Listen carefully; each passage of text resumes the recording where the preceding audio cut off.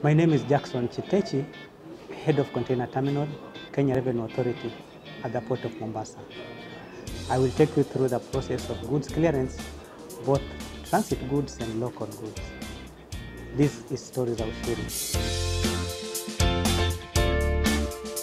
These goods are actually into two types. We have the transit inward, that is the goods that come from foreign through Kenya to foreign countries and partner states. On transit goods, majorly handle goods to Uganda, to Rwanda, South Sudan, Burundi, and northern parts of Tanzania.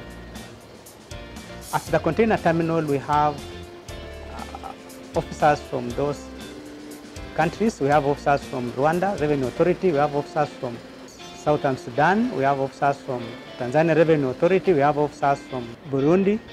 With Rwanda Revenue Authority, they clear their own goods. We don't clear their goods. Uganda Revenue Authority, they clear part of their goods. We do clear part of their goods as they develop their systems and uh, capacity to handle all the goods. Coming back to local goods, the local imports now for local consumption, when goods come, the, the, the importers get the clearing agents.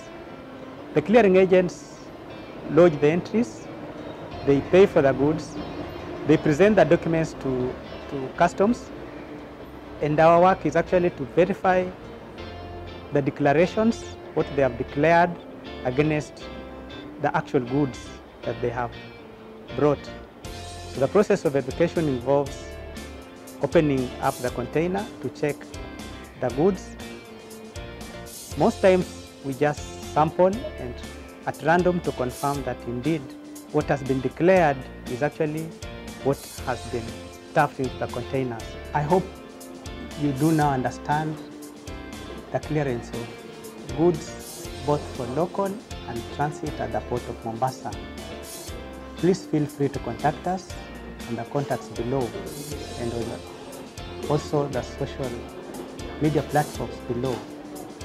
I am Jackson Chitechi. This is Stori za Ushuru.